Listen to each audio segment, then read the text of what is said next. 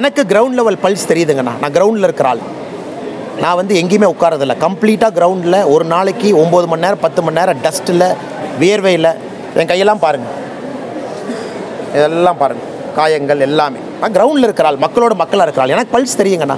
குறைந்த விலை நிறைந்த தரம். தங்கள் தேவைகள் அனைத்தும் ஒரே இடத்தில். ஜெயச்சந்திரன் டெக்ஸ்டைல்ஸ் நான் கான்ஃபிடென்ட்டாக இருக்கேன். Twenty twenty four I am extremely confident super கான்ஃபிடென்ட்டாக இருக்கேன். நான் மக்களை படிக்கிறேன் மக்களோட ரீட் பண்ணுறேன் மக்களோட இருக்கேன். டெய்லி மினிமம் இருபத்தஞ்சாயிரம் பேர்த்த அறுபது நாளாக பார்த்துட்ருக்கேன். தமிழ்நாட்டில் எந்த அரசியல்வாதி இவ்வளோ மக்கள் இப்போ பார்க்குறது கிடையாது. டீ கடையில் போய் டீ குடிக்கிறேன் பேசுகிறேன் ஒரு செருப்பு தைக்கிற அண்ணங்கிட்ட போய் பேசுகிறேன் பூக்கடாக்க அக்காட்ட பேசுகிறேன் நடந்து போகும்போது பேசுகிறேன் ஐ சி அண்ணா எனக்கு பல்ஸ் தெரியும்.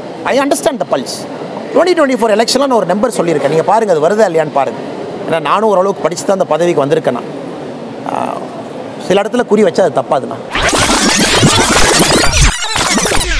தூய்மை பாரதத்தின் மீது எடுத்துக்கொண்ட அக்கறையை தமிழக அரசு எடுத்துக்கொள்ளவில்லை.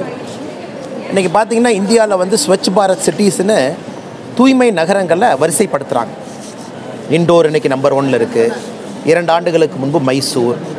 தமிழகத்தில் இருக்கக்கூடிய நகரங்கள் டாப்பில் இல்லாமல் கொஞ்சம் மீடியம் லெவலில் இருக்குது ஸோ எந்த நகரங்கள்லாம் ஸ்வச் நகரங்களா தூய்மை நகரங்களாக அந்த பட்டியலில் வந்திருக்கோ அந்த நகரங்களில் டூரிசம் அதிகமாக இருக்குது அதாவது தூய்மை என்பது ஏதோ நம்ம பார்க்குறோம் வெளிப்புறத்தில் தூய்மையாக இருக்குன்னு சொல்கிறத விட ஆடட் பெனிஃபிட்ஸ் பார்த்தீங்கன்னா அந்த நகரம் வந்து ஆக்சலரேட்டட் ப்ரோக்ரஸில் இருக்குது இப்போ தமிழக அரசு இது இன்னும் இன்னும் கொஞ்சம்.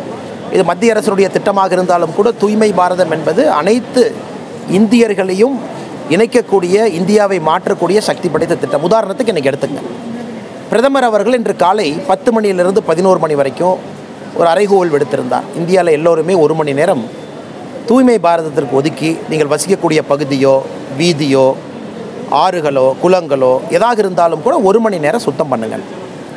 நீங்கள் அதை வெப்சைட்டில் போய் பார்த்தீங்கன்னா தெரியும் எந்த அளவுக்கு நிறைய மாநிலங்கள் இதை வந்து அரசாவே ஒரு நிகழ்வாக எடுத்து நடத்தியிருக்காங்க. தமிழகத்தை பொறுத்தவரை இதில் எல்லாம் அந்த போட்டா போட்டி இல்லாமல் வெறுப்பு இல்லாமல் பொறாமை இல்லாமல் இதை போன்ற நிகழ்வு எல்லாம் தமிழக அரசே கையில் எடுத்து மக்கள் என்கரேஜ் பண்ண வேண்டும் என்பது தொடர்ச்சியாக என்னுடைய கருத்து. ஏதோ தூய்மை பாரதம்னு மோடி சொல்லிட்டாரு நமக்கு அது வேண்டான்னு தமிழக அரசு நினைக்கக்கூடாது. அதே போல் வரக்கூடிய பணம் வருது. அதை வந்து முறையாக பயன்படுத்தினா ஒரு ஒரு ஸ்மார்ட் சிட்டிலையும் பார்த்தீங்கன்னா ஸ்வச்ச பாரத்துக்கான ஆடட் ஸ்கீம் கூடவே வருது. ஏரிகளை சுத்தப்படுத்துறது குளங்களை சுத்தப்படுத்துறது மக்கள் வாக்கிங் போகிறதுக்கோ பைசைக்கிள் ட்ராக்கோ எல்லாமே. அதெல்லாம் பேருக்கு தான் தமிழ்நாட்டில் வந்து வேலை நடந்து கொண்டிருக்கிறது. ஸ்வச்ச பாரத்தில் குறிப்பாக வந்து பார்த்திங்கன்னா இந்த பெனிஃபிட் ஆஃப் ஒரு லேக்கை க்ளீன் பண்ணுறதெல்லாம் இப்போ கோயம்புத்தூரில் இரண்டு மூன்று நதிகள் நம்ம சுத்தப்படுத்தியிருக்கோம். தமிழகத்தில் எத்தனை ஸ்மார்ட் சிட்டியில் அது நடந்திருக்கு? இதெல்லாம் கேள்விகள். நான் சொல்ல வந்த கருத்து என்னன்னாங்கன்னா இதை தமிழக அரசு தன்னுடைய திட்டமாக இந்தியாவினுடைய திட்டமாக கையில் எடுத்துக்கொள்ள வேண்டுமோ தவிர இது பாரதிய ஜனதா கட்சியினுடைய திட்டம் மோடி அவருடைய திட்டம்னு கையில் எடுத்துக்கூடாதுங்கண்ணா பாரதிய ஜனதா கட்சி சோஷியல் மீடியாவை தவறாக பயன்படுத்துதுன்னு சொல்லி நீங்கள் முதல்வர் சொல்கிறாரு சமூக வலைதளங்களை சரியான பாதைக்கு கொண்டு போகாமல் வெறும் அவதூறுகளை பரப்புவது வதந்திகளை பரப்புவதே பிஜேபியோட வேலையாக இருக்குங்கிறார். அண்ணா இன்னைக்கு திராவிட முன்னேற்றக் கழகத்தினுடைய சமூக வலைதளம் இருப்பது இருப்பதே பொய்ய பேசுறதுக்கு தான் பொய் செய்தியை போடுறதுக்கு தான். முதல்ல டிஆர்பி ராஜா அவர் போட்டுட்டு இருந்தார் இப்போ அமைச்சரானதுக்கப்புறம் அந்த பணி இன்னொருத்தர் கொடுத்துட்டார். ஸோ பொய்யை பேசுறதுக்கு அவர்கள் பயன்படுத்துவது சமூக வலைத்தளம். பாரதிய ஜனதா கட்சியை பொறுத்தவரை இளைஞர்களுடைய ஆஸ்பிரேஷன் அது சமூக வலைத்தளத்தில் வெளிப்படுறாங்க. அது எப்படி டி டிஎம்கேல எந்த இளைஞர்கள் இல்லை எப்படி அவங்க வெளிப்படுத்துவாங்க. ஸோ பாரதிய ஜனதா கட்சியினுடைய சமூக வலைத்தளம் வந்து ஆஸ்பிரேஷனல் அதனால தான் இன்றைக்கி உலகத் தலைவர்கள் அதிகமான ஃபாலோவர்ஸ் வந்து சோஷியல் மீடியாவில் நம்முடைய பாரத பிரதமர் நரேந்திர மோடி அவருக்கு இருக்குது இந்தியாவில் டாப் அக்கௌண்ட்ஸ் எடுத்து பார்த்தீங்கன்னா பிஜேபி அக்கௌண்ட்ஸாக தான் அதிகமாக இருக்கும். காரணம் இளைஞர்களுடைய மென்டாலிட்டியை ரெஃப்ளெக்ட் பண்ணக்கூடிய சோஷியல் மீடியா அக்கௌண்ட் நம்மகிட்ட இருக்குது வாஷிங்டன் போஸ்ட்டில் ஒரு கழுத்து எழுதியிருக்காங்க. முதல்வர் எங்கேருந்து சொல்ல வரான்னு எனக்கு தெரியுங்கண்ணா. மூன்று தினங்களுக்கு முன்பு வாஷிங்டன் போஸ்ட்டில் ஒரு எழுதுகிறாங்க இந்த மாதிரி பாரதிய ஜனதா கட்சியினுடைய சோஷியல் மீடியா அப்படின்னு சொல்லிட்டு கர்நாடக எலெக்ஷனில் போய் யாரோ ரெண்டு பேர்த்த இன்டர்வியூ பண்ணுறாங்க இன்றைக்கி தமிழகத்தில் சோஷியல் மீடியாவில் கருத்து போட்டதற்காக பாரதிய ஜனதா கட்சி எத்தனை பேரை கைது பண்ணியிருக்காங்க? இன்றைக்கி நாமக்கல்லை சார்ந்த நம்முடைய ஐடி விங் தம்பி இளைஞரணி ஐடி விங் தம்பி ஒருத்தரை காலையில் அரெஸ்ட் பண்ணியிருக்காங்க ரெண்டு மணிக்கு. ரெண்டு மணிக்கு. இன்னைக்கு கரூர் போலீஸ் வந்து அரெஸ்ட் பண்ணிட்டு போயிருக்கிறாங்க. இதை நீங்கள் பார்த்தீங்கன்னா தமிழகத்தில் பாரதிய ஜனதா கட்சி ஒரு கருத்து போட்டாவே அவதூறு என்று வந்து இந்த ஆட்சிக்கு பயம். ஒரு ஒரு பாரதிய ஜனதா கட்சியினுடைய தொண்டனையெல்லாம் கைது பண்ணிட்டு நேற்று அபிஜித் மஜூம்தர்னு ஒரு டெல்லி பேஸ்ட் ஜேர்னலிஸ்ட் போட்டிருந்தாங்க. சனாதன தர்மத்தை பற்றி ஒரு கருத்து எழுதியிருக்கார். தமிழ்நாட்டிலேருந்து போலீஸ் ஃபஸ்ட்டு போஸ்ட் ஆஃபீஸுக்கு போயிருக்கு டெல்லிக்கு. வியாழ வெள்ளிக்கிழமை அன்னைக்கு. அவர் ஒரு கருத்து போருக்கா ட்விட்டரில் இவங்கெல்லாம் மோடியை வந்து ஃபேசிஸ்ட்டு நீங்கள் சொல்கிறீங்க உங்களுக்கெல்லாம் எந்த தகுதியும் கிடையாது. உண்மையான ஃபேசிஸ்ட் இந்தியாவில் யாருன்னா தமிழகத்தினுடைய முதலமைச்சர் திரு ஸ்டாலின் அவர்கள். அதாவது சனாதன தர்மத்தை பற்றி ஒருத்தர் கருத்து எழுதுறாரு. அதுக்காக தமிழகத்திலிருந்து நான்கு பேர் கொண்ட போலீஸ் குழு ஃபர்ஸ்ட் போஸ்ட் ஆஃபீஸ் டெல்லிக்கு போயிருக்காங்க இவரை தொலாக்கிட்டு இதை பற்றி முதலமைச்சர் என்ன கருத்து சொல்லுவார்னா உண்மையாலுமே சமூக வலைதளத்தையும் இன்னொருத்தர் பயன்படுத்தக்கூடிய கருத்துக்களை ஆயுதமாக பயன்படுத்தி அவங்க மேலே கேஸை போடுறதும் செடிஷனு ஒன் ஃபிஃப்டி த்ரீ ஏ அதே போல் திராவிட முன்னேற்ற கழகம் பயன்படுத்துவதே பொய்க்குத்தான். அதனால் முதலமைச்சர் அவர்கள் சமூக தாள வலைதளத்தை பற்றி பேசுவதற்கு எந்த விதமான அருகதையும் அவருக்கு கிடையாது. கூட்டணி முறிவு தொடர்பான அறிக்கையை வந்து நீங்க தாக்கல் செய்ய போவீங்களா எந்த அறிக்கைங்கண்ணா? கூட்டணி முறிவு என்னன்னே அறிக்கை இது? என்ன கம்பெனியானே கால் ஷீட் கொடுத்து profit and loss statement போடுறக்கு political parties are not companies ஆனால் political parties by its nature இதெல்லாம் அரசியலில் முப்பது ஆண்டுகளில் பார்த்தீங்கன்னா பாரதிய ஜனதா கட்சி பல விஷயங்களை தாண்டி வந்திருக்கு. ஒரு ஒரு கட்சியும் அது போல தான் இல்லை அறிக்கை கொடுக்குறக்கு என்ன காலம் எந்த அறிக்கையும் கேட்கல எந்த அறிக்கையும் கொடுக்கலண்ணா. எனக்கு ரெண்டு நாள் இன்றைக்கி பிரேக் இருக்குது ஸோ ஃபேஸ் ஒன் முடித்து மூணு நாள் பிரேக் இருந்துச்சு. போய் ப்ரீஃப் பண்ணிட்டு வரும் எப்பொழுதுமே என்ன நடக்குது? அடுத்து வரக்கூடிய தலைவர்களுடைய நேரத்தை வாங்கணும். யோகிஜி வரணும். முக்கியமான தலைவர்கள் வரணும். நேரத்தை ஃபிக்ஸ் பண்ணணும். அதெல்லாம் நாளைக்கு டெல்லி நாளைக்கு நாளானிக்கு இருந்து அந்த நேரத்தை வாங்கிட்டு வரணுங்கண்ணா. மெயினாக போகிறது வந்து ப்ரீஃப் பண்ணணும். யாத்திரை என்ன நடக்குது? வாட் இஸ் ஹேப்பனிங்னு அறிக்கை யாரும் கேட்கல. நான் அறிக்கையும் கொடுக்க போகிறதில்ல ஒரு பையோட டெல்லி போகிறேன் அதனால் இது வந்து it's not a corporate company Anna it's politics பாலிடிக்ஸில் இருக்கத்தான் செய்யும். ஒருத்தர் வருவாங்க ஒருத்தர் போவாங்க அதெல்லாம் பார்ட் ஆஃப் பாலிடிக்ஸ் ஏற்கனவே நான் சொன்னது போலனா இன்றைக்கி பாரதிய ஜனதா கட்சியினுடைய நோக்கம் எலெக்ஷனுக்கு என்ன ஏழு எட்டு மாதம் இருக்குது இன்றைக்கி நோக்கம் கட்சியை வலிமைப்படுத்தணும். எண்மண் எண் மக்கள் யாத்திரை பிரமாதமாக மக்கள் மனதில் போயிட்டுருக்கு எழுச்சியாக இருக்குது இதையெல்லாம் நம்ம கொண்டு போய் சேர்க்கணும். கூட்டணி எப்படி என்டிஏவனுடைய தன்மை எப்படி இருக்கும் தமிழகத்தில் எப்படி இருக்கும் அதெல்லாம் சம்மந்தப்பட்ட நேரத்தில் நம்முடைய தலைவர்கள் பேசுவாங்க. இப்போ அதிமுக வந்து தனியாக ஒரு கூட்டணி அதிமுக தலைமையில் தனியாக ஒரு கூட்டணி அமையும் அப்படின்ற ஒரு கருத்தை சொல்லியிருக்காங்க. அது வந்து தமிழகத்தில் தேசிய ஜனநாயக கூட்டணிக்கு பின்னடைவு. நான் எதுவுமே பின்னடைவு இல்லை நான் ரெண்டாயிரத்தி பதினாலு நீங்கள் பார்த்துருக்கீங்க. எதுவுமே பின்னடைவு கிடையாது. அரசியலை பொறுத்தவரை சில விஷயங்கள் வந்து வரப்பிரசாதமாக அமையும். அது நமக்கு தெரியாது. சரித்திரம் என்ன சொல்லுதுன்னா ஒரு விஷயம் நடக்கும் பொழுது நமக்கு அது உண்மைத்தன்மை தெரியாது. நடந்து முடிந்த பிறகு திரும்பி பார்த்தோம் அப்படின்னா சில இடத்துல அது சரித்திரமாக தோணும். சிங்கப்பூர் மலேசியா பாருங்கள் சிங்கப்பூர் நாட்டுக்கு வந்து சுதந்திரம் கிடைக்காம மலேசியா கழுத்து பிடிச்சி வெளியே தள்ளி விட்டாங்க. அதாவது சிங்கப்பூர் எங்களுக்கு வேண்டாம் என்று மலேசியாவால் துரத்தப்பட்ட ஒரு நாடு சிங்கப்பூர். இன்றைக்கி சிங்கப்பூரினுடைய ஜிடிபி என்ன? மலேசியாவோட எத்தனை மடங்கு இருக்குது ஸோ சரித்திரத்தில் எப்பவுமே அதை வச்சு நீங்கள் பார்க்க முடியாதுங்கண்ணா. ஒரு காலகட்டத்திற்கு பிறகு திரும்பி பார்க்கும் பொழுது தான் சில விஷயங்கள் தெரியும். அதனால தான் நான் ஏற்கனவே சொன்னேன் I will keep my comments reserved எனக்கு கிரவுண்ட் லெவல் பல்ஸ் தெரியுதுங்கண்ணா. நான் கிரவுண்டில் இருக்கிற ஆள். நான் வந்து எங்கேயுமே உட்காரதில்ல கம்ப்ளீட்டாக கிரவுண்டில் ஒரு நாளைக்கு ஒம்பது மணி நேரம் பத்து மணி நேரம் டஸ்ட்டில் வேர்வையில் என் கையெல்லாம் பாருங்கள் இதெல்லாம் பாருங்கள் காயங்கள் எல்லாமே. நான் கிரவுண்டில் இருக்கிறாள் மக்களோட மக்களாக இருக்கிறாள் எனக்கு பல்ஸ் தெரியுங்கண்ணா நான் கான்ஃபிடென்ட்டாக இருக்கேன். Twenty twenty four I am extremely confident super கான்ஃபிடென்ட்டாக இருக்கேன். நான் மக்களை படிக்கிறேன் மக்களோட ரீட் பண்ணுறேன் மக்களோட இருக்கேன். டெய்லி மினிமம் இருபத்தஞ்சாயிரம் பேர்த்த அறுபது நாளாக பார்த்துட்ருக்கேன் தமிழ்நாட்டில் எந்த அரசியல்வாதியும் இவ்வளோ மக்கள் இப்போ பார்க்குறது கிடையாது. டீ கடையில் போய் டீ குடிக்கிறேன் பேசுகிறேன் ஒரு செருப்பு தைக்கிற அண்ணங்கிட்ட போய் பேசுகிறேன் பூக்கடாக்க அக்காட்ட பேசுகிறேன் நடந்து போகும்போது பேசுகிறேன் ஐ சி அண்ணா எனக்கு பல்ஸ் தெரியும். I understand the pulse twenty twenty four எலெக்ஷனில் நான் ஒரு நம்பர் சொல்லியிருக்கேன். நீங்கள் பாருங்கள் அது வருதா இல்லையான்னு பாருங்கள் ஏன்னா நானும் ஓரளவுக்கு படித்து தான் அந்த பதவிக்கு வந்திருக்கேன் சில இடத்துல குறி வச்சா அது தப்பாதுண்ணா ரெண்டாயிரத்தி இருபத்தி நான்கு பாராளுமன்ற தேர்தல் நீங்கள் பாருங்கள் எனக்கு எழுச்சி தெரியுது. கிரவுண்டில் ஐம் ரீடிங் த பல்ஸ் மக்கள் எந்த பக்கம் சாயறாங்கன்னு தெரியுது. உங்கள் இன்ஃபர்மேஷனுக்காக சொல்கிறேன் ஐம்பத்தி ஏழு சதவீத தமிழக வாக்காளர்கள் முப்பத்தாறு வயசு கீழே இருக்காங்க. ஸோ இதெல்லாம் கனெக்ட் பண்ணணும். அரசியல் கட்சிகள் கனெக்ட் பண்ணணும். தலைவர்கள் கனெக்ட் பண்ணணும். இவங்களுடைய லாங்குவேஜ் வேறு இவங்க பேசுறது வேறு. அவங்கெல்லாம் by nature rebel by nature aggressive so ஐம்பத்தி ஏழு சதவீத தமிழக வாக்காளர்கள் முப்பத்தஞ்சு சதவீதத்துக்கு இருக்காங்க. அவங்களாம் சத்தியமாக டிவியை பார்க்குறதில்ல நான் உண்மை சொல்கிறேன் அவங்களாம் இன்ஸ்டாகிராமில் வாழ்கிறாங்க இந்த டிவியில் எவ்வளோ காட்டு கற்று கத்தி பார்க்குறது நாலு பர்சன்ட் உங்கள் டிபேட் பார்க்குறது ரெண்டரை பர்சன்ட் ஆனால் அம் தனியாக இருக்கிற ஐம்பது பர்சன்ட் அவன் டிவி கிடையாது டிபேட்டு கிடையாது நீங்கள் போடுற ஷோ பார்க்குறதில்ல. இன்ஸ்டாகிராமில் சோஷியல் மீடியாவில் அந்த ஐம்பத்தைந்து சதவீத மக்கள் வாழ்ந்து கொண்டிருக்கின்றார்கள். அவங்க பல்ஸை வந்து நீங்கள் கருத்து கணிப்பு வச்சா டிவியெல்லாம் தெரியாதுண்ணா. அது ஒரு தனி உலகம் தனி குரூப் அந்த உலகத்துக்குள்ளே பெனட்ரேட் பண்ணுறது எங்கள் அரசியல் இருக்குது அதை தமிழகத்தில் இருக்கக்கூடிய நிறைய அரசியல் கட்சிகள் நான் புரிஞ்சுக்கலாம் அதனால் நம்ம டிவியில் ஒரு கருத்து வருது நைட்டு டிபேட் நடக்குது நாலு பேர் வந்து கருத்து சொல்கிறாங்க அதெல்லாம் அரசியல் தாண்டியாச்சு அதெல்லாம் nineteen nineteen nineteen ninety five style உண்மையை சொல்ல போனால் பேப்பர் யாருன்னே படிக்கிறான் படிக்கணும்னு நான் வற்புறுத்துறேன். என்னோட பாயிண்ட்டு டிவி பார்க்கணுங்கிறேன். உங்கள் டிபேட்லாம் பார்க்கணும்னு நான் சொல்கிறேன் ஏன்னா உங்களுக்கு எடிட்டர் இருக்காங்க ஒரு கருத்தை போடுறீங்க. ஆனால் அதை கையில் பிடிச்சிட்டுமானே எப்படி? இப்படி வச்சுட்டுமானே எதுக்கோ புதிய தலைமுறைக்கு என் மேலே கோபம் இருக்குது கீழே உழுவுது.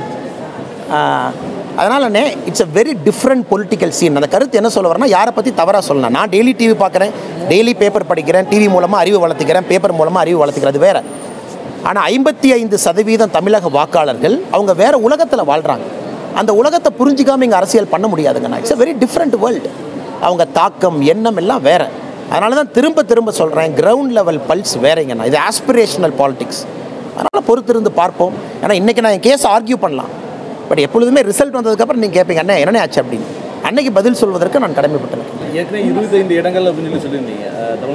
அதை பற்றி நான் எது கருத்து சொல்ல விரும்பலைங்கன்னா கூட்டணி வர்ற நேரத்தில் நம்முடைய தலைவர்கள் பேசுவாங்க. எப்படி இருக்கும் என்டிஏனுடைய ஷேப் எப்படி எப்படி இருக்கும். இன்றைக்கி நான் கருத்து சொல்ல விரும்பலை. நான் தெளிவாக இருக்கேன் கிரவுண்டு எதை நோக்கி போகுது அப்படின்னுங்கண்ணா கிரவுண்டு எதை நோக்கி போகுது? கிரவுண்டில் ஷிஃப்ட் எப்படி? இளைஞர்களை எப்படி நம்ம பேசணும்? அவங்க எதிர்பார்க்குற அரசியலை எந்த கட்சி கொடுக்குது? அவர்களுடைய எண்ண ஓட்டம் ஒரு அரசியல் கட்சியில் பிரதிபலிக்குதா? இதான் என்ன கேள்விங்கண்ணா இதை அட்ரஸ் பண்ணுறதா ரெண்டாயிரத்தி இருபத்தி நாலு எலெக்ஷனோ தவிர மிச்சவங்கெல்லாம் ஃபிக்ஸ் பண்ணிட்டாங்கண்ணா அறுபது வயசில் இருக்கிறவங்க ஆல்ரெடி முடிவு பண்ணிட்டாங்க. ஐம்பத்தஞ்சு வயசு முடிவு பண்ணிட்டாங்க. எழுபத்தஞ்சு வயசு முடிவு பண்ணிட்டாங்க. விருப்பு வெறுப்பு ஐடியாலஜி சித்தாந்தம் அவங்களாம் ஐம்பது வருஷமாக பார்த்துட்டாங்க. இன்றைக்கி கேம் இருக்கிறதே முப்பத்தேழு வை ஐம்பத்தி ஏழு சதவீத வாக்காளர்களை யார் கவர போகிறாங்க அதான் கேம். அதில் பாரதிய ஜனதா கட்சி இன்னைக்கு இருக்குது ஏன்னா எங்களுடைய அரசியல் அவர்களை சார்ந்தது அவர்களுடைய நலனை சார்ந்தது. வரக்கூடிய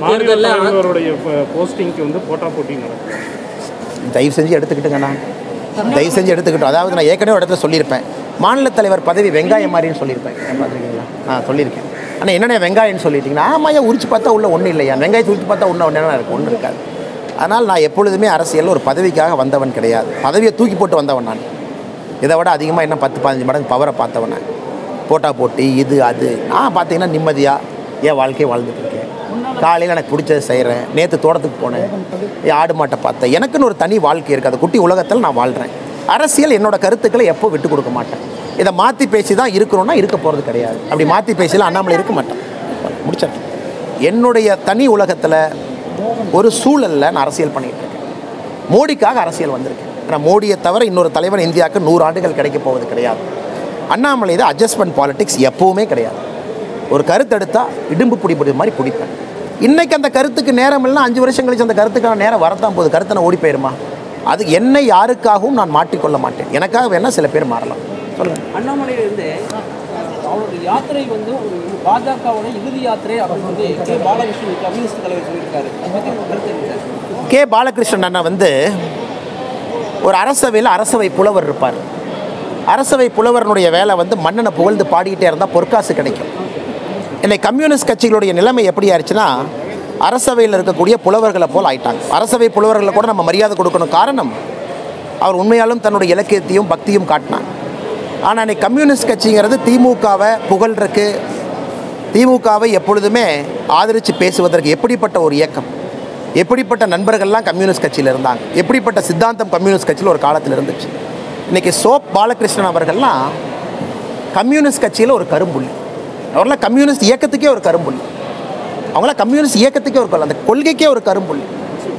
ஏன்னா கோயம்புத்தூர் எம்பி பேசிட்டுமே. இத்தனை நாளாக மூணு வருஷமாக நாலு வருஷமாக அப்ஸ்காண்டிங் ஆனவர்.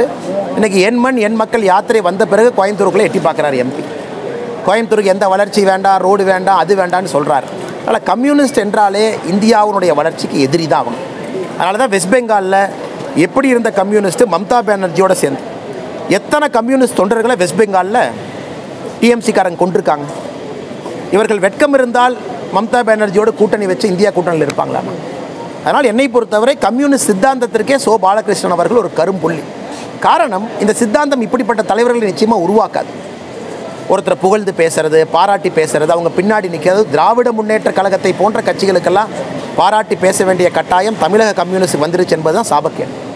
முன்னாள் அமைச்சர் முன்னாள் அமைச்சர் கே சி கருப்பண்ணன் சொல்றாரு ரெண்டாயிரத்தி இருபத்தி ஏழு சட்டமன்ற தேர்தலுக்கு முதலமைச்சர் வேட்பாளர் முன்னூத்தி நாலு அதுக்கு முன்னாள் அமைச்சர் இன்னொருத்தரே பதிலடி கொடுத்துட்டாருல்ல. அவங்க கட்சிக்குள்ள அவங்களே மாற்றி மாற்றி பதிலடி கொடுத்துக்கிறாங்க. நான் எதுக்கு பேசுகிறேன்னு முன்னாள் அமைச்சர் இங்கே ஒன்று சொன்னால் முன்னாள் அமைச்சர் அங்கே ஒன்று சொல்கிறாரு நான் இதுக்கு எதுவும் இல்லாத ஒரு தனி மனித எதுக்கு போய் விவசாயி போய் இடையில போய் கருத்து சொல்லுங்கண்ணா தேசிய ஜனநாயக கூட்டணியிலிருந்து அதிமுக வெளியே வந்தது அதிமுகவுக்கு நல்லது தான் அப்படிங்கிறது இப்போ உள்ள அந்த திமுக கூட்டணி வைக்கும் கட்சிகள் சொல்லிட்டு இருக்காங்க இவ்வளோ நேரமாக நான் சொல்லிட்டு இருக்கிறேன்னா சிஸ்டர். பாரதிய ஜனதா கட்சி தப்பான போதையில் பாதையில் போகுதுன்னு தமிழகத்தில் யாராச்சும் ஊடக நண்பர்களோ பொலிட்டிக்கல் கமெண்டேட்டர் சொன்னாங்கன்னா அதற்கு நேர் எதிரான நிலைப்பாடு தமிழக பாரதிய ஜனதா கட்சி எடுக்கணும். அதான் தமிழக பாரதிய ஜனதா கட்சிக்கு நல்லது. லெஃப்ட்டு போனால் ரைட்டு போகணும். ஏன்னா எல்லாருக்குமே தமிழக பாரதிய ஜனதா கட்சி மேலே கோபம் தானே? எல்லாத்துக்கும் தெரிஞ்சிடும் தமிழக பாரதிய ஜனதா கட்சிக்கு ஒரே ஒரு எலெக்ஷன் தேவைப்படுது. ஒரே ஒரு எலெக்ஷன் இருபத்தஞ்சு பர்சன்ட் ஓட் ஷேரை தாண்டிட்டோன்னு ஒரு எலெக்ஷனில் தமிழக பாரதிய ஜனதா கட்சி காமிச்சிருச்சுன்னா தமிழகத்தினுடைய அரசியல் தலைகீழாக மாறும். அதுக்கு நிறைய பேர்த்துக்கு வேண்டாம். இங்கே போயிடுச்சு அங்கே போயிடுச்சு பொலிட்டிக்கல் கமெண்டேட்டர் இவர் பொலிட்டிக்கல் கமெண்டேட்டர் அவர். டிவியில் அவர் டிவியில் இவர். யூடியூப்பில் அவர் யூடியூப்பில் இவர். அதனால் நான் கட்சி நண்பர்கள்ட்ட சொல்கிறேன் என்ன கருத்து தமிழகத்தில் வைக்கிறாங்களோ டாப் லெவலில் அதற்கு நேர் எதிரான ஒரு டெசிஷனை பாரதிய ஜனதா கட்சி எடுத்தால் கட்சிக்கு நல்லா இருக்கும். அதனால் அந்த கருத்துக்கெல்லாம் வரவேற்கிறேன். காரணம் அவருடைய வெறுப்பை நம்ம மேலே காட்டுது. ஆனால் பாரதிய ஜனதா கட்சி மேலே எல்லாத்துக்கும் வெறுப்பு இருக்கத்தானே செய்யுது. காரணம் இந்த கட்சி is the only cleanest political party in India அதனால் இருக்கட்டும். அதை பற்றி வருகின்ற நேரத்தில் சரியான காலகட்டத்தில் பேசுவோம். ஊழல் பட்டியல் வெளியிடுறதுக்கான வாய்ப்புகள் இருக்கு. ஏன்னா தொடர்ச்சி அவங்க இடி கேஸ்லாம் இருக்கு. ஸோ அதுக்கான ஊழல் பட்டியல் தொடர்ச்சி அடுத்த கட்டமாக வெளியிட பாருங்கண்ணா மாநில தலைவராக இல்லைன்னா பாஜக தொடர்ந்து செயல்பட வாய்ப்பு இருக்கா. நீங்கள் வாங்க சிஸ்டர் இங்கே வாங்க. வந்து போய் பேசுங்க. நீங்கள் வாங்க. பக்கத்தில் வாங்க. பார்க்கலாம் கே கேள்வி கேட்குறக்கு ஒரு மரபு இருக்குது வாங்க இங்க வாங்க மக்கள் பார்க்கட்டும். யார் இந்த மாதிரி கேள்வி கேட்குறாங்க தமிழக ஊடகம் பார்க்கணும். வாங்க. இல்லை இல்லை இல்லை. உண்மையாலும். இந்த மாதிரி கேள்வி கேட்குறவங்கள தமிழக ஊடகம் பார்க்கணும்.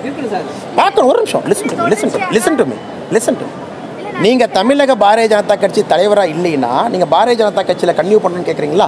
இந்த மாதிரி அறிவாளித்தனமான கேள்வி கேட்குற யாருன்னு எட்டு கோடி பேர் பார்க்கணும். நான் சொல்கிறது என்ன தப்பு? அண்ணா கேள்விக்கு ஒரு மரபு இருக்குண்ணே. அந்த மரபை தாண்டிட்டீங்கன்னா அண்ணாமலை யாராக இருந்தாலும் விட மாட்டேன் நான் என்ன இந்த சீட்டில் நான் பச போட்டு ஆனால் தயவு நீங்கள் வாங்க சிஸ்டர் பார்க்கட்டுல மக்கள் உங்களை பார்க்க. இது இதெல்லாம் இதெல்லாம் நீ- இதெல்லாம் நீங்கள் ஒரு நிமிஷம். இதை எப்படி டிஃபெண்ட் பண்ணுவீங்க? இது எப்படி ஒரு நிமிஷம். பிரதர் எப்படி டிஃபெண்ட் பண்ணுவீங்க? எப்படி டிஃபெண்ட் பண்ணுவீங்க? எப்படி டிஃபெண்ட் பண்ணுவீங்க? எப்படி டிஃபெண்ட் பண்ணுவீங்க? ஒரு நிமிஷம் எப்படி டிஃபெண்ட் பண்ணுவீங்க? ஒரு நிமிஷம் எப்படி டிஃபெண்ட் பண்ணுவீங்க? ஒரு நிமிஷம் எப்படி டிஃபெண்ட் பண்ணுவீங்க? எங்க சொன்னேன்? எங்க சொன்னேன்? எங்க சொன்னேன்? ஒரு நிமிஷம் எங்க சொன்னேன்? எங்க சொன்னேன்? எங்க தயவு செஞ்சு உங்க காதை நீங்க செக் பண்ணணும். இன்னைக்கு நான் விவசாயம் பண்ணிட்டு இருக்கேன். இன்னைக்கு என்னுடைய முதல் பணி விவசாயம். அரசியல்வாதி இல்லையா? நான் என்ன முழுநேர அரசியல்வாதியாக கிடையவே கிடையாது. நான் அதுக்கு முழுநேர அரசியல்வாதியாக இருக்க போகிறேன் கிடையவே கிடையாது. எதுக்கு முழுநேர அரசியல்வாதியாக இருக்கணும்? ஊழல் செய்கிறக்கா எந்த வேலையிலும் வேலைன்னா அரசியல்வாதி. காலையில் நைட் வரைக்கும் என்ன வேலை அரசியல்வாதி. ஏழு நாள் என்ன பண்ணுவேன்? அரசியல்வாதி. முப்பது நாள் என்ன பண்ணுவேன்? அரசியல்வாதி. இன்றைக்கி நான் விவசாயி தானே. விவசாயி is my identity being a farmer is my identity அதுக்கப்புறம் தான் அரசியல்வாதிங்கிற ஐடென்டி எனக்கு. அதுக்கப்புறம் தான் பிஜேபிங்கிற ஐடென்டி ஸோ விவசாயிங்கிற ஐடென்டியில் தெளிவாக இருக்குது அதை எப்போ விட்டு கொடுத்துருக்கேன். அதை இப்போ விட்டு கொடுத்துருக்கேன். இன்றைக்கி விவசாயம் பண்ணிட்டு தான் அரசியல்வாதியாக இருக்கேன். தோட்டத்துக்கு போலியா காட்டுக்கு போலியா ஆடு மாட்டை பார்க்கலையா? அதனால் கேள்வி கேட்குறக்கு ஒரு மரபு இருக்குது சிஸ்டர் ஏன்னா நீங்களாம் பெரிய ஆளாக வரணும்னு நினைக்கிறேன். சொல்கிறது கேளுங்க. ஜேர்னலிசமில் you should come very high in life it needs a bit of ethics it needs professional grounding தப்பை தப்புன்னு சொல்லுங்கள் சரி சரின்னு சொல்லுங்கள் I'm the first person to but கேள்விகள் முறையாக இருக்கும் தவறு தவறாக போயிடும் நீங்களாம் வளரணும்னு நினைக்கிறேன். ஒரு நிமிஷம். என்னுடைய ஆதங்கம் என்னன்னா என்னுடைய ஆதங்கம் என்னன்னா நீங்கள் வளரணும்னு நினைக்கிறேன். அதில் தான் ஆதங்கம் வருது.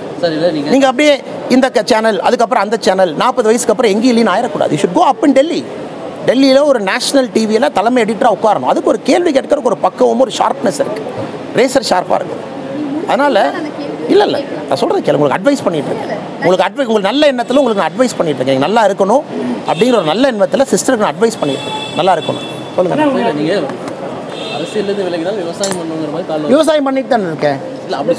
விவசாயம் எது எது கேட்குறாங்க? நீங்கள் தப்பாக புரிஞ்சுக்கிட்டீங்க? இப்போ நான் விவசாயம் பண்ணலையா? இப்போ விவசாயம் பண்ணிட்டு அரசியல் தவறாக அவங்க சிஸ்டரை டிஃபெண்ட் பண்ணுறேன்னா சும்மா டிஃபெண்ட் பண்ணக்கூடாது. இதை மக்கள்லாம் பார்க்குறாங்க இந்த சேனலில் போட்டு கீழே போய் கமெண்ட்ஸில் மக்கள் என்ன போடுறாங்க போய் பாருங்க. என்ன என்ன கேள்வி கேட்டாலும் நீங்கள் டிஃபெண்ட் பண்ணீங்கன்னா அப்புறம் எதுக்கு பத்திரிகையாளர் சந்திப்பு நடத்தணும்? பத்திரிகையாளர் சந்திப்பு நீங்கள் எங்கிட்ட என்ன கேள்வி கேட்கலாம்னா நான் உங்கள்கிட்ட திரும்ப கேள்வி கேட்குறேன். எனக்கு உரிமை இருக்குல்ல தலைவா? கேட்கலாமல்ல தலைவா? தப்பாக நினச்சக்கூடாது. கேட்கலாமல்ல ஆனால் நீங்கள் கேள்வி கேட்குறக்கு உரிமை இருக்கும் பொழுது அந்த லக்ஷ்மண் ரேகாவை கேள்வி தாண்டக்கூடாது. தேர் இஸ் அ லிமிட் அரசு there is a Lakshman rekha. சொல்லுங்க அரசு நிலத்தை வந்து அபகரித்ததா வந்து மாவட்ட தலைவர் மேல அதுக்கு மாவட்ட தலைவர் கருத்து சொல்லுவாருங்க. அது நான் அபகரிக்கல. எனக்கு அதுக்கு சம்மந்தம் இல்லை. எனக்கு அதுக்கு சம்மந்தம் இல்லை. அது மாவட்ட தலைவர் வேற ஒன்று சொல்கிறாரு அவர் கோர்ட்டுக்கு வந்து ஸ்டேக்கு மூவ் பண்ணியிருக்காரு அவர் வேற ஒரு டாக்குமெண்ட் கொடுக்குறாரு. இந்த கேள்விக்கான பதிலை மாவட்ட தலைவர் தான் சொல்லணும். அண்ணாமலைக்கு இதுக்கு என்ன சம்மந்தம் இதில் என்ன மாதிரியான சூழல் நிலவும் எந்த மாதிரி சூழல் நிலவு போல என்ன மாதிரி சூழல் நிலவும்? டெல்லியில் என்ன போட்டி பரீட்சை தேர்வு யூபிஎஸ்சி இன்டர்வியூ என்னை ஒரு ஆறு பேர் சேர் போட்டு உட்கார வச்சு இன்டர்வியூவில் சேரில் உட்கார வச்சு கேள்வி கேட்க போகிறாங்களா டெல்லிக்கு போனாலும் அப்படி தான் இருப்பேன். போவாட்டி அப்படி தான் இருப்பேன். ரெண்டு வருஷமாக நீங்கள் என்னை பார்த்துட்டு இருக்கீங்க. ஏதாச்சும் மாற்றி பேசணும்னா அதெல்லாம் இது. பாத யாத்திரை போனதுல நிறைய புகார் பெட்டி வாங்கிட்டீங்க இல்லையா? இந்த புகார்ல மேஜரா சொல்லப்பட்டிருக்கக்கூடிய தகவல் என்ன? ஊழல் கரப்ஷன் டிஎம்கேவுக்கு எதிராக ஃபாலோ அது உலகத்துக்கு தலைவா நீங்கள் வந்து பாருங்கள் தலைவா இன்வைட் பண்ணுறேன் புகாருங்கிறது எப்பவுமே நான் வச்சுக்கங்க. மக்கள் வந்து முப்பதா முப்பது மாதமாக யாரு கீழே இருக்காங்க? திமுக கீழே இருக்காங்க. அப்போ யார் மேலே புகார் கொடுப்பாங்க? அந்த அரசு மேலே கொடுப்பாங்க. அதானே ஜென்ரலாக நடக்கும். இன்றைக்கி நீங்கள் ஃபீல்டில் முப்பது மாதமாக ஜேர்னலிஸ்ட் இருக்கீங்க. யாராச்சும் ஒரு பெட்டி கடை நண்பரோ ஒரு ரோட்டோர க- கடை வைத்திருக்கக்கூடிய சகோதர சகோதரி ஊழல் சொன்னால் யார் மேலே புகார் சொல்லுவாங்க? மாநில அரசு மேலே தானே சொல்லுவாங்க. முப்பது வருஷமாக யாராச்சும் இருக்கா?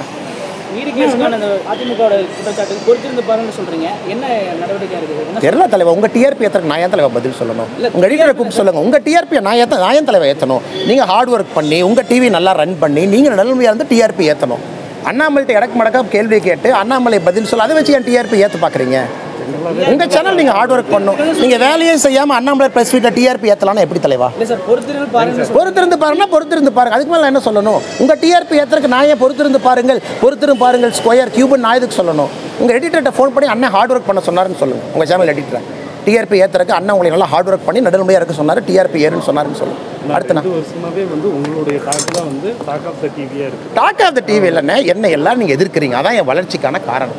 ஒரு விஷயம் பொருளுங்க எல்லாரும் சேர்ந்து ஒரு மரத்தை கல் எடுத்து அடிச்சிங்கன்னா அந்த மரம் வளரும். ஏன்னா ரெண்டரை வருஷமாக கல்லெடுத்து அடிக்கிறேன் ஏன்னா புதுசாக ஒருத்தர் வந்திருக்கான் வித்தியாசமாக இருக்கான் அரசியல்வாதி மாதிரி இல்லை பிஹேவ் பண்ணுறது வேறு பேச்சு வேறு செய்கை வேறு ஈவன் டீலிங் வேறு. அப்படி தான் நான் இருப்பேன். நான் அதை மாற்றிக்கிட்டேன்னு வச்சுக்கோங்களேன் நான் அரசியல்வாதி ஆகிடும் அப்புறம் நானும் பத்தோட பதினா கரவேட்டி கட்டிட்டு சைடில் நிற்கணும் அந்த மாதிரி இருக்க விரும்பலை தனித்தன்மையாக என்னுடைய கொள்கையெல்லாம் நிற்கிறேன் சில பேர்த்த எதுக்கணுமா எதுக்க தயார்? பல பேர்த்த எதிர்த்துட்டேன் இன்னொரு நாலு பேர்த்த எக்ஸ்ட்ரா எதுக்கணுமா அதை எதுப்போம் ஆனால் நீங்கள் புரிஞ்சுக்கணும். பாலிட்டிக்ஸ் அப்படிங்கிறது அதுக்கு பல கோணங்கள் பல பாதைகள் அது பல ஆறுகள் மாதிரி. ஃபைனலாக எல்லாம் போய் நதியில் நதியெல்லாம் போய் கடலில் தான் இணைய போகுது. இன்றைக்கி அதான் சிஸ்டரும் அவங்களும் கேட்டாங்கல்ல. அடிப்படையில் ஐம் ஃபார்மர் மகாத்மா காந்தி அவங்க சொன்னாங்க மனிதனுக்கு ஏழு கார்டினல் சின்ன இருக்குது ஆனால் ரெண்டு முக்கியமான சின் வந்து அரசியல்வாதிக்கு பொருந்தும். ஒன்று பாலிட்டிக்ஸ் வித்தவுட் பிரின்சிபல் பிரின்சிபலே இல்லாமல் பாலிட்டிக்ஸ் பண்ணீங்கன்னா பெரும் குற்றங்கிறார். ஒர்க் வித்தவுட் மணி அதாவது நீ பணமே சம்பாதிக்கல ஆனால் நீ வாழ்றீன்னா அதுவும் குற்றங்கிறார் முழுநேர அரசியல்வாதி இருந்தால் எப்படிண்ணே முழுநேர அரசியல்வாதி இருந்தால் காந்தியினுடைய ரெண்டு குற்றங்கள். அப்படின்னா பிரின்சிபல் இல்லாமல் நீ அரசியல் பண்ணிகிட்டு இருப்ப முழுநேர அரசியல்வாதி. ரெண்டாவது வெல்த் வித்தவுட் ஒர்க்கு பணம் வரும் ஆனால் உழை உழைச்சிருக்க மாட்டேன் இது ரெண்டையும் உடைக்கணும்னு நினைக்கிறேன். காலமாகும் நேரமாகும். என்னுடைய பாணியில் நான் இருக்கேன். உங்கள்கிட்ட நான் சத்தமாக பேசுகிறேன் ஓரமாக பேசுகிறேன் ஆக்ரோஷமாக பேசல. சிஸ்டமாக எனக்கு மதிப்பு இருக்குது அதனால் சொல்கிறேன் கேள்விக்கு ஒரு தன்மை இருக்குது எடிட்டராங்கிறது ஏர்பிஎஸில் கேட்பாங்க. நான் பார்க்குறேன்ல மெசேஜ் அனுப்புவாங்க எடிட்டர் இந்த கேள்வி கேளு. காலைல இந்த ப்ரெஸ் மீட் சொன்னார். அதுக்குள்ளே உங்கள் பீட் ரிப்போர்ட்டர் அதிமுக பேசியிருப்பாங்க டிஎம் கேட்ட பேசியிருப்பாங்க இது பேசு. சென்னையில் பார்த்தீங்கன்னா ஏர் பிளக்கோடு நிற்பாங்க நான் ப்ரெஸ் மீட் பண்ணும்போது லைவாக ஏர் பிளக் இருக்கும் பின்னாடி. இதை கேளு அதை கேளு. எதுக்கு? எது? எனக்கும் தெரியும். இங்கே கேட்குற கேள்வி போய் அப்படியே ட்விஸ்ட் பண்ணி ஆடியம் ஏடிஎம் கேட்ட போய் அண்ணாமலை பொறுத்து பார்க்கலான்னு சொன்னார் உங்கள் கருத்து என்ன? ஜெயக்குமார் அண்ணன் செல்லூர் ராஜான்ட்ட போய் கேட்பீங்க அவர் சொன்னோடனே அதுக்கு ஒரு கியூபை போட்டு அவர் எப்படி சொன்னாங்க? உடனே கூட்டணி மூணாக முறிஞ்சிருச்சான் இதைத்தானே ரெண்டு வருஷமாக தமிழக ஊடகத்தில் நடக்குது. இதை இதை எனக்கு இது கூட தெரியாதானே பிஜேபிக்கு ஒரு பீட் ரிப்போர்ட்ரு ஏடிஎம்கேக்கு ஒன்று டிஎம்கேக்கு ஒன்று மூணு பீட் ரிப்போர்ட்ரு மாற்றி மாற்றி மாற்றி இப்போ சொன்னோன்னே அங்கே போயிடுவாங்க அண்ணே ஜெயக்குமார் போய் அண்ணே பொறுத்திருந்து பாருன்னு சொன்னா அப்போ நாளைக்கு ரிலீஸ் பண்ணுவார் அண்ணே அப்படின்னு. ஜெயக்குமார் அண்ணன் ஒரு கருத்து சொன்னோன்னே முடிஞ்சது. டமார் டுமார் டமார்னு கிளாஸ் போட்டு உடச்சிட வேண்டியதான் அதனால தான் சொல்கிறேன் ஒரு கண்ணியமும் ஒரு நேர்மையும் ஒரு லக்ஷ்மணன் ரேக்கையும் ஊடக அறமும் இருக்கட்டும் தான் என்னுடைய கேள்வி. மற்றபடி நான் எங்கேயும் டினை பண்ணல. நீங்கள் கேட்ட எந்த கேள்விக்கும் இது ஒரே பதில் சொல்லிட்டு போயிருக்கலாமே பொறுத்திருந்து பாருங்கள் டெல்லி போனா. ஃப்ராங்காக சொல்கிறேன் ஏன்னா இளைஞர்கள் யாராச்சும் ப்ரெஸ் மீட் பார்த்தா அவங்களுக்கு நம்பிக்கை கொடுக்கணும் அப்படின்னு. அதனால் நான் நான் நேர்மையாக இருக்கணும் என்னை பொறுத்த வரைக்கும் நீங்களும் அந்த நேர்மையை அறத்தை கடைபிடிங்க அப்படிங்கிறத என்னுடைய கேள்வி நான் எந்த கேள்வியும் ஒழிச்சு மறைக்கல எல்லா கேள்வியும் நேரில் தான் நான் சொல்கிறேன். I really don't know sir I don't know and my Delhi visit is a very routine visit. I, I keep going after every yatra and I have to brief my senior leadership on what, what yatra is, what is happening, especially on the phase two part. And there are many senior leaders who are supposed to participate in the yatra. I have to go get their dates also. So it's a very routine trip which was arranged two weeks back. The date was finalized. I'll be going and I'll be coming back. Will there be any discussion about the alliance uh, issue in Tamil Nadu? I don't think so, sir, as of now, because elections are very far away. There are about seven, uh, eight months back. There are senior leaders sitting in Delhi who will take a call. And my job is to go there, go to Delhi, brief the today's agenda parties and the yatra very specifically, and to get the senior leaders' date and come back. Yeah, ADMK had clearly said that there is no alliance with BJP, but there is no sign from any BJP comments as of Why to comment, sir? What is the need for comment? When you have so many positive things to do, why do you want to comment? I told my BJP people to be busy in what they do. When you have so much work to do, why do you want to comment in social media? Why do they have to comment in press? Let them go focus on the booth, let them go focus on the ground, let them focus on the yatra. When you have so many things to do, why to unnecessarily comment? Still, you want NDA, NDA alliance in Tamil Nadu? So you have to understand, NDA alliance is formed by BJP. There is an NDA alliance in Tamil Nadu. BJP heads the NDA alliance in India. So of course there is an NDA alliance in Tamil Nadu. What is the problem, sir? ADMK ஒருவேளை NDA அப்படி இல்லை அப்படின்னு சொன்னால் தனித்து செயல்படவோ அல்லது ஆனால் தெரியாதுங்கண்ணா எனக்கு அதை பற்றி தெரியாதுங்க ஏன்னா நான் ஏற்கனவே சொன்னது போல் அதுக்கான கருத்துக்களை நம்முடைய தலைவர்கள் சொல்லுவாங்க குறிப்பாக தேசிய தலைவர் என்டிஏ கூட்டணியினுடைய கோஆர்டினேட்டர் இதை பற்றி சொல்கிறதுக்கு அவருக்கு அதிகாரம் இருக்குது அவங்க பேசுவாங்க. அதனால தான் நான் கூட்டணிக்குள்ளே நான் போக விரும்பலை. என்னுடைய வேலை பாரதிய ஜனதா கட்சியை பற்றி எந்த கேள்வி வேணாலும் கேளுங்க நான் பதில் சொல்லுவேன் இப்போ கூட்டணி முறிவுக்கான மைய க கருத்தை வந்து உங்களுடைய பேச்சு உங்களுடைய நீங்கள் அண்ணாவை பற்றி பேசுறது மற்றதெல்லாம் அதை அதை தான் சொல்லியிருக்காங்க. அப்படிங்கும்போது அது தொடர்பாக தலைமை உங்களிடம் விளக்கம் கேட்டாங்க இதுவரை கேட்கலீங்க. தலைமை விளக்கம் கிட்ட என்ன சொல்லுவீங்க? கேட்டால் சொல்லுவேண்ணே கொஸ்டின் பேப்பரில் ஒரு கொஸ்டின் பேப்பரில் கொஸ்டின் வந்து ஆன்சர் எழுதுறோம்ல. நான் கொஸ்டின் கேட்கல கேட்டால் ஆன்சர் பண்ணுவேன் சரியா பாஜக தன்னோட ஸ்ட்ரென்த்தை நிரூபிக்கிறதுக்கு தனித்து போட்டிடுமா? ஆனால் ஸ்ட்ரென்த்தை நிரூபிக்கிறதுக்காக காரணம் இல்லைண்ணே ஜெயிக்குண்ணே தனித்து போட்டிடுங்கிற இதுக்கு நான் போக விரும்பலை. ஏன்னா என்டிஏ கூட்டணியில் எத்தனையோ கட்சிகள் இன்னும் இருக்குது எல்லாம் இருக்காங்க இன்னும் சேருவாங்க. பலம் வலிமையாக இருக்கும். அந்த கூட்டணிக்கான காலமும் நேரம் வரும்பொழுது ஷேப் அண்ட் ஃபார்மை நம்முடைய தலைமை தலைவர்கள் சொல்லுவாங்க. பட் ஜெயிக்கிறதுக்காகத்தான் போட்டிடுவோங்க. வி வில் வின் நிறையா சீட் தமிழ்நாட்டில் ஜெயிப்போம். அதனால தான் இன்றைக்கி எல்லா கட்சிகளுமே பயந்து போயிருக்கிறாங்க. பாரதிய ஜனதா கட்சியின் மீது இவ்வளோ அட்டாக் பண்ணுறாங்கன்னா என்ன காரணம்? ஸோ ஏற்கனவே சொன்னது போல் சரித்திரத்தை எப்பவுமே திரும்பி பார்க்கும் பொழுது தான் ஒரு விஷயம் ஏன் நடந்துச்சுன்னு தெரியும். ரெண்டாயிரத்தி இருபத்தி நாலு பாராளுமன்ற தேர்தல் நடந்த பிறகு நமக்கு புரியும் எந்த கட்சி எவ்வளோ பலம் கவுண்டர்லாம் பார்க்கும்போது நீங்கள் சொல்கிறீங்க வலுவாக இருக்குங்க அவங்க கவுண்டர்லாம் பார்க்கும்போது நாங்கள் இப்படியான்ற வார்த்தைகளை பா சொல்றாங்க. எதுக்கு பதில் சொல்லணும் தலைவா? எதுக்கு பதில் சொல்லணும் தலைவா? எனக்கு ஏன் வேலை இருக்குது தலைவா? எனக்கு ஏன் வேலை இருக்குது ஏழு மணி நேரம் நடக்கிறேன். ஆறாயிரத்தி ஐநூறு கேலரி பேர்ன் பண்ணுறேன் நாலு மணி நேரம் தூங்குறேன். காலையில் எழுந்திரிச்சு மக்களை பார்க்குறேன். எனக்கு ஏன் வேலை இருக்கும்போது ஏன் கமெண்ட் பண்ணணும்? எனக்கு ஏன் வேலையே தலைக்கு மேலே இருக்குது எதுக்கு கமெண்ட் பண்ணணும்? அந்த கமெண்ட்டுக்கு அவங்களே பதில் சொல்லுவாங்க. நீங்கள் சொன்ன மாதிரி முன்னாள் அமைச்சர் ஒரு கருத்து சொன்னாங்க முன்னாள் அமைச்சர் இன்னொரு கருத்து சொல்லுவாங்க. அதிலே பேலன்ஸ் ஆகிக்கும் நாம் இதுக்கு புதுசாக கருத்து சொல்லுவோம் லாஸ்ட் அசம்பிளியில் வந்து ஏடிஎம்கேவோட அலைன்ஸில் ஃபோர் சீட்ஸ் வின் பண்ணாது பிஜேபி இல்லை ஏடிஎம்கே பிஜேபி அலையன்ஸில் ஓகே ஏடிஎம்கே பிஜேபி அலைன்ஸில் பிஜேபி ஃபோர் வின் பண்ணாங்க. ஆமாம் இப்போ வரக்கூடியதில் அவங்க திட்டவட்டமாக நாங்கள் கூட்டணி இல்லைங்கிற போது பாஜக ஏடிஎம்கே இல்லாமல் நின்னா எவ்வளோ சீட்ஸ் வின் பண்ணுவோம்? எனக்கு தெரியாதுங்க நான் ஜோதிடர் கிடையாது. நான் ஒரு கட்சி தலைவர். என்னை பொறுத்தவரை இந்த கட்சி வந்து இரட்டை இலக்கத்தில் வந்து ஓட் ஷேர் இன்றைக்கி பிஜேபிக்கு இருக்குது இரட்டை இலக்கத்தில் இருக்குது இன்றைக்கி பிஜேபி பல இடத்துல தமிழ்நாட்டில் ஜெயிக்க போகுது. அதான் ஏற்கனவே சொன்னது போல் ரெண்டாயிரத்தி இருபத்தி நான்கு பாராளுமன்ற தேர்தல் ரிசல்ட் வந்த பிறகு நீங்கள் பார்ப்பீங்க நான் எந்த கட்சி குறைச்சி சொல்ல எந்த கட்சியும் உயர்த்தி சொல்ல நான் பாரதிய ஜனதா கட்சியை பற்றி பேசுகிறேன் டெய்லி இருபத்தஞ்சாயிரம் பேரை களத்தில் பார்க்குறேன் அறுபது நாட்களாக களத்தில் இருக்கேன். மக்கள்கிட்ட பேசுகிறேன் எல்லா தரப்பட்ட மக்களை பேசுகிறேன் எனக்கு பல்ஸ் தெரியுங்கன்னா நான் கான்ஃபிடென்ட்டாக உறுதியாக இருக்கேன். கிரவுண்ட் எந்த பக்கம் ஷிஃப்ட் ஆயிடுச்சுன்னு தெளிவாக இருக்கேன். மறுபடியும் சொல்கிறேன் ஐம்பத்தி ஏழு சதவீத வாக்காளர்கள் முப்பத்தஞ்சு வயசு கீழே. அவங்க மனநிலை வேறு எண்ண ஓட்டம் வேறு திங்கிங் வேறு அவங்க பாலிடிக்ஸ் வேறு. அவங்க இந்த பழைய பஞ்சாங்க பாலிடிக்ஸ்க்கெல்லாம் இளைஞர்கள் தயாராக இல்லை. அவங்க புது புரட்சிக்காக காத்திருக்காங்க. சரியாண்ணே? ஆல்ரெடி நீங்கள் எல்லா விஷயமும் வெளிப்படையாக பேசக்கூடியவங்க. ஏன் இந்த எண்ணிக்கையை மாத்திரம் சொல்ல மாட்டேங்கிறீங்க இன்னைக்கு உங்களுக்கு ரெண்டாயிரத்தி இருபத்தி நாலு பின்னாடி பாருங்க முப்பத்தொம்பது சொன்னா அப்புறம் உங்களுக்கு ஹார்ட் அட்டாக் வந்து உங்கள் எடிட்டருக்கு ஹார்ட் அட்டாக் என்ன முப்பத்தொம்பது சொல்லிட்டேன் அப்படின்னு அதனால எதுக்கு சில நம்பர்லாம் எதுக்கு எதுக்கு சில நம்பர்லாம் சொல்லணும்? இன்னைக்கு இருபத்தஞ்சுக்கு மேலே கூட இருக்கலாம்ல யாத்திரைக்கு அப்புறம்? யாத்திரைக்கு அப்புறம் இருபத்தஞ்சுக்கு மேலே கூட இருக்கலாம்ல. சொன்னால் சில பேர்த்துக்கு சென்னையில் குளிர் காய்ச்சல் ஜுரம் வந்துடும் எதுக்கு சொல்லணும்? அப்புறம் அதை வச்சு ஒரு வாரம் டிபேட் நடத்துவாங்க. ஏழு ஏழு மணிக்கு ப்ரைம் டிபேட் பாஜக சொன்ன நம்பர் கிடைக்குமா? அதுக்கு ஒரு நாலு பேர் கருத்து அதுக்கு ஒரு கருத்து கணிப்பு அதுக்கு ஒரு ட்விட்டர் போல் எதுக்குண்ணே அதுக்கு எதுக்கு எதுக்கு டிவியோட டிஆர்பி ஏற்றணும்னு சொல்கிறேன் சரி பார்ப்பண்ணே நன்றி. தலைவா இன்னும் மூணு வருஷம் இருக்கு. மூணு வருஷம் இருக்கு. அப்புறம் பார்ப்போம். குறைந்த விலை நிறைந்த தரம். தங்கள் தேவைகள் அனைத்தும் ஒரே இடத்தில். ஜெயச்சந்திரன் டெக்ஸ்டைல்ஸ்